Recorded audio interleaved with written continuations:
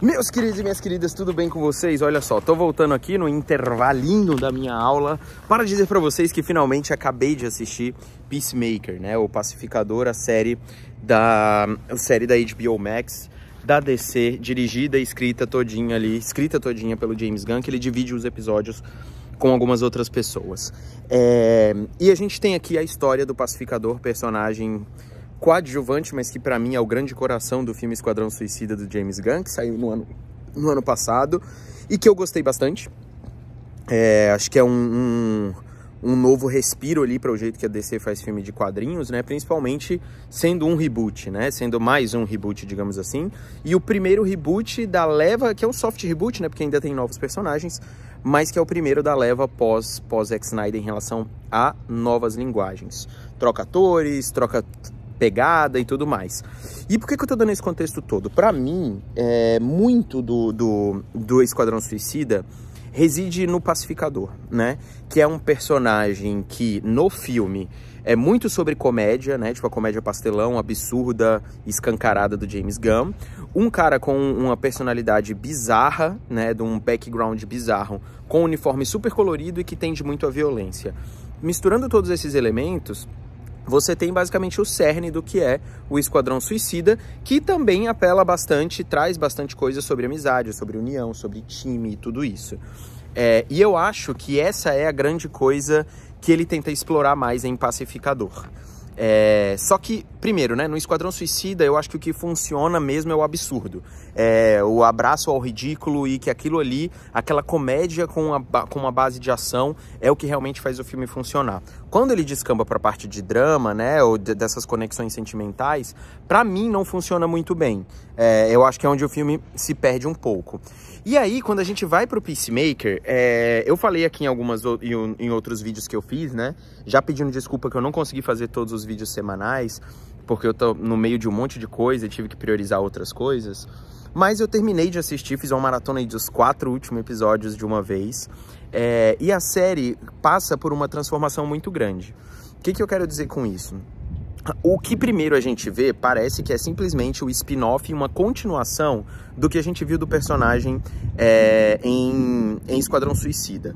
E esse é realmente o início, só que é a superfície dessa série. Essa série, na minha visão, não acho que ela privilegia tanto a comédia, né? Porque, e aí eu tô dizendo em termos de roteiro, por quê? Porque, eu vou ser sincero, gente, eu ri pouquíssimo na série, assim, sabe? É, tem uma ou outra situação que são, são absurdas e tudo mais, mas é o tipo de humor que é o humor autoexplicativo e repetitivo, né? Que ele faz a piada, alguém tem que explicar a piada e esse e, e explicar a piada literalmente. E a graça da piada é a pessoa repetindo e dando continuidade a um diálogo absurdo. Isso acontece o tempo inteiro, né? O tempo inteiro. Então, tipo, por que, que você não fez isso? Aí alguém vai perguntar, por que, que você fez isso? Porque as mais idiotas perguntas retóricas, elas são o tempo inteiro é, recicladas e colocadas ali. Eu entendo quem gosta desse tipo de humor, eu entendo como é que... Mas não é meu estilo, sabe? É a mesma coisa do humor, não é o mesmo estilo, mas é o mesmo raciocínio que tem no humor do Will Ferrell, por exemplo, sabe? Ou do Adam Sandler, sabe? São estilos completamente diferentes, mas que não faz... Não, não, eu não acho graça.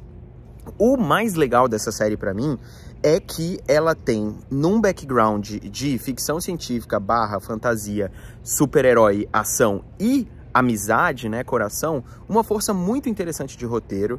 O James Gunn consegue transformar esse personagem pacificador em um cara adorável, né, um cara realmente esquisito e adorável, ainda que ele seja burro, ainda que ele seja é, um assassino. O John Cena transborda carisma aqui nessa série.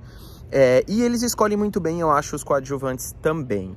É, não acho só que ela funcione tanto para a parte de comédia, né, como eu disse. Só que aí, cara, tem uma parada nessa série que para mim funciona muito bem, que é a construção de personagens que o James Gunn faz. E é, tem duas características do James Gunn aqui que para mim se sobressaem, assim, a maioria das coisas de tudo que ele faz. A primeira é a questão do foco em personagens e interação entre eles. Se você assistiu Guardiões da Galáxia, o próprio Esquadrão Suicida, você vê exatamente o que eu estou falando. Aqui ele faz uma outra equipe, cada uma com as suas é, especificidade, especificidades, e cada um deles funciona bem dentro do espectro e dentro da relação entre eles.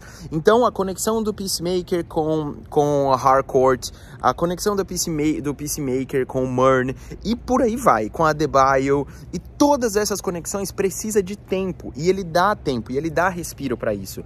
E todas as partes emocionais me parecem genuínas, né? Então eu, eu gostei muito, eu me conectei muito mais com os personagens na segunda metade da série do que na primeira metade. E tem a melhor interação de todas, assim, para que você continue assistindo, talvez, que é a do Vigilante e do Pacificador. Que a, é, é, tipo Beavis e Butthead falando, sabe? Tipo, é uma coisa mais idiota que a outra e quando você vê, você começa a dar risada com eles. As outras situações para mim é que não são tão fortes assim. E aí a outra, a outra característica do James Gunn que eu acho muito legal é a forma como ele trabalha fantasia e absurdo.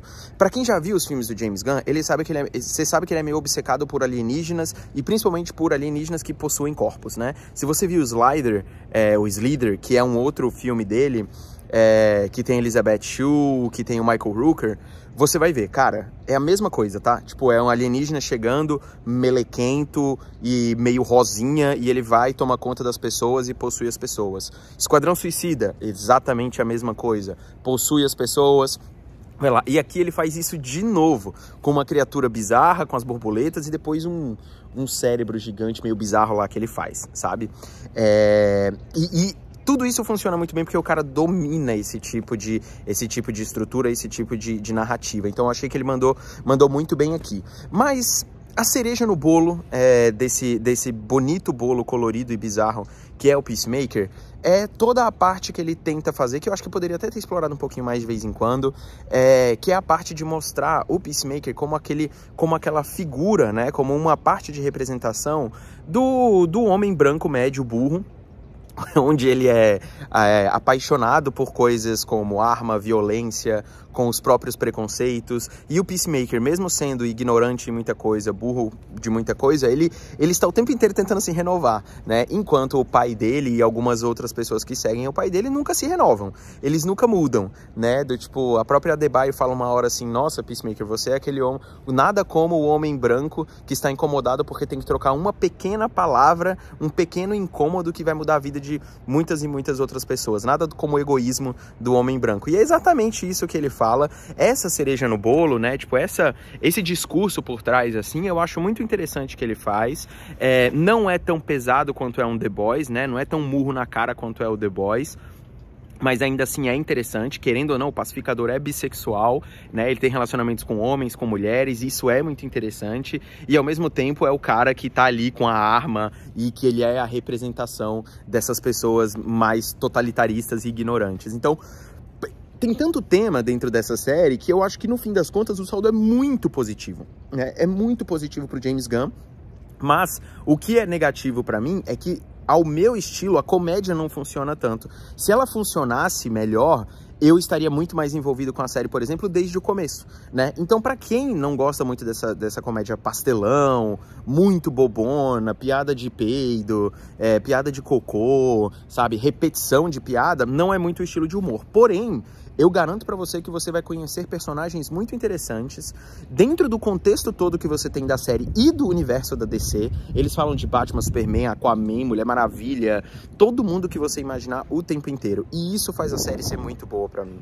Valeu muito ter assistido os outros episódios. Me arrependi, por exemplo, de não ter feito toda é, a maratona dela no começo e falado semanalmente, mas ela funcionou muito melhor para mim depois. E, e, e eu acho que o James Gunn se comprova aqui como um cara que sabe trabalhar muito bem personagens personagens, equipes e relacionamentos, mais do que trabalhar a comédia, sabe? É, e eu fiquei bem feliz com o que ele fez aqui com essa série. Já tem uma segunda temporada e uma nova série também do Esquadrão Suíço, do derivado do Esquadrão Suicida, que a gente não sabe ainda necessariamente quem é. Então, meus parabéns pro James Gunn, pra DC fazer, que fez algo muito interessante aqui. É a melhor série de super-herói que existe, blá, blá, blá. Não, não vou colocar. A DC já fez outras séries melhores, né, como o Watchmen, que pra mim é uma das melhores séries mesmo já feitas de todos os tempos, mas é, é uma série melhor do que um monte de série que a Marvel fez por aí, é, como, por exemplo, o próprio Hawkeye, né, o Gavião Arqueiro, é, acho que é melhor que o Falcão e Soldado Invernal, por exemplo, e tem a sua força como uma das grandes coisas da DC que a gente tem nesse ano, com certeza absoluta. Diz aí nos comentários o que você achou dessa série, não esquece de curtir o vídeo e assinar o canal. Valeu!